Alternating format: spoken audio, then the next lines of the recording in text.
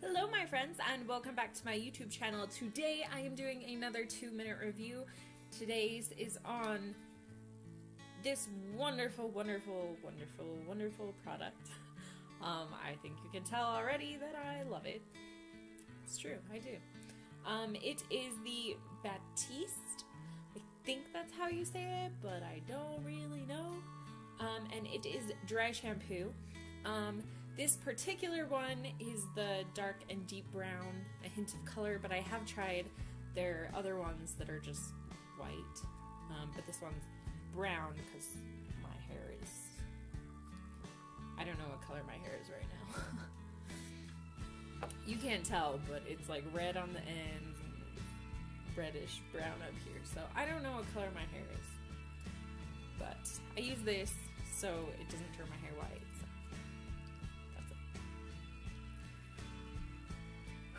It has been a day, and I just, I don't know. I don't know.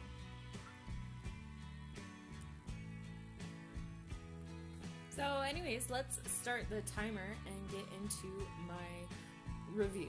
Ready, set, go. So, who doesn't love dry shampoo? First of all, because nobody wants to wash their hair every day. That's kind of a lie. I do wash my hair basically every day. But on the few days that I don't wash my hair every day, this is my savior. Um, I am obsessed with this product um, because it gives my hair volume.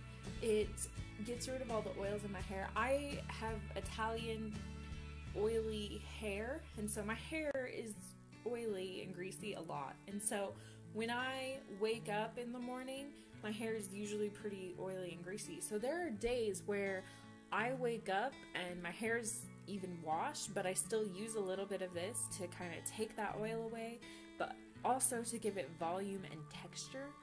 Um, when I'm doing braids and stuff, I use this because it gives my hair texture and helps the braids to hold better. This is a terrible review, I'm sorry. Um, I'm sure you guys know what dry shampoo is, but I I don't know. Um, it means that I don't know what I'm saying. This is a terrible review, and I'm running out of time. Um, I like that this has a hint of color because it does not turn my hair white at all. Um, and then it's easier to blend in. So I personally just spray it on my head, let it sit a little bit, um, kind of soak in the oils, I guess. I don't know. Does it do that? I don't know. Um, and then I just use my fingers to kind of uh, rub it in, and I don't know. I don't know. Um, but because this one is in brown, it doesn't show up really. Um, when I've used white ones, there's still times, even after going through it, that my hair still looks a little off colored later on. But with this one, that doesn't happen. So I really like that this is tinted. Um, dang it. I'm sorry, this is probably the worst review I've ever done. Um, but I do love this product. I don't know why I don't know how to talk about it. Um, but I love it. I highly, highly recommend it. If you're gonna get a dry shampoo, I think you should get this one because I I know I'm going over two minutes. Be quiet. Nobody cares. Um, I know I have tried quite a few other dry shampoos, and this is by far my favorite one.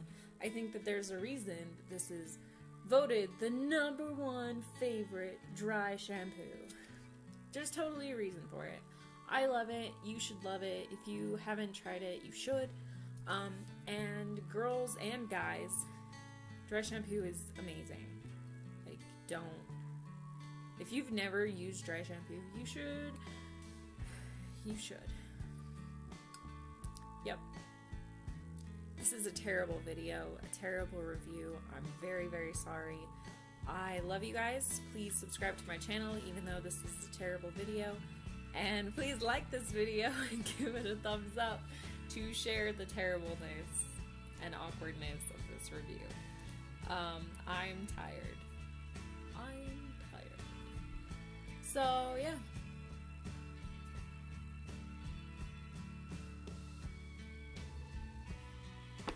I love you guys. This is a terrible video. I'm very, very sorry, but I love you, and I will see you guys next time. Goodbye. Sorry again. Won't wash my hair, then make 'em bounce like a basketball.